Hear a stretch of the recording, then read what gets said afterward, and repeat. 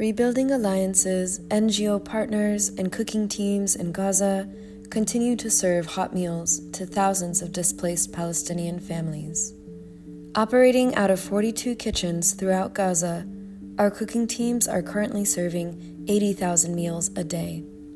Before and during the Rafah invasion, Rebuilding Alliance helped our cooking teams and their extended families evacuate, relocate, build shelters, and reopen their kitchens.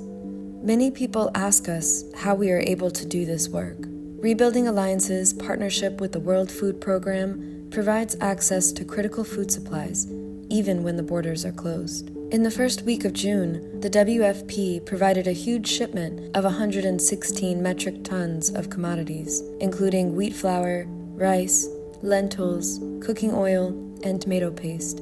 This delivery sustains our program and will feed displaced Palestinians in the coming weeks. Where possible, our cooking teams add fresh vegetables available in the local markets to boost the nutrition and stretch the commodity supplies. The WFP has suspended deliveries from the US built pier since June 9th, following the use of an aid truck by the Israeli military for a military operation. The situation is challenging and demands resiliency.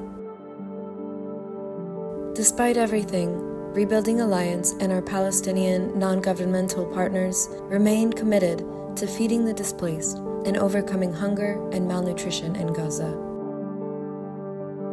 With your support, Rebuilding Alliance will expand cooking operations, open more kitchens, and feed more families.